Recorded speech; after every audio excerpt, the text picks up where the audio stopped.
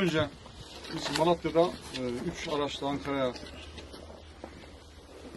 düzenlenecek olan e, bu ülkenin aydınlık yüzleri olan e, KESK, TUMOP, TTB ve e, DİSK'in e, düzenlemiş olduğu mitinge katılmak üzere yola çıktık.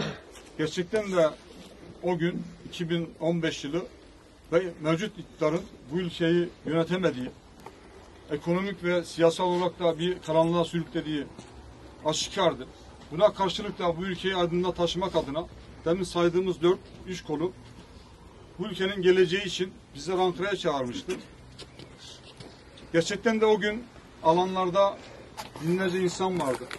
İnsanların yüreğinde sevgi, gözlerinde umut, yüzlerinde gülücükler ve dillerinde barış türküleri vardı. Ama bir seçim uğruna, bir iktidar uğruna ne yazık ki o gün orada patlatılan iki canlı bombayla 104 canımızı kaybettik. 500'ün üzerinde yaralı arkadaşlarımız var halen tedavi görüyorlar. Bizler ilk gününe bir söz vermiştik. Onları unutmayacağız, unutturmayacağız. Ee, bugün de onların unutmadığımızı, unutturmadığımızı bir kez daha dile getirmek adına mezarları ziyaret ediyoruz. Hukuksal boyutta davalarını takip ediyoruz ailelerle birlikte.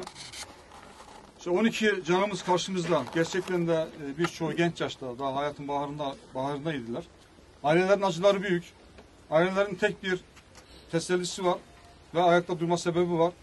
Bu katliama sebep olan, katliamı kolaylaştıran e, kim varsa hukuk önünde hesap vermesi ve bu hesap verilmesiyle ilgili ailelerin büyük çabaları var ve onun için ayakta duruyorlar.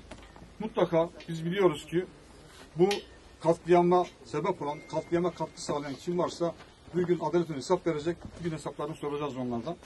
Tekrardan hepinizin hayatlarında sağlık, yüreklerinde sağlık geldiğiniz için.